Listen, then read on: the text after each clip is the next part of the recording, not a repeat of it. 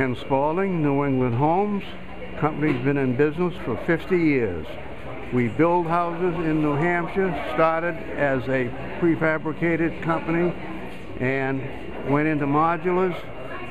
We are the oldest company in the country in with the same management. Um, Greenland, New Hampshire is our operation.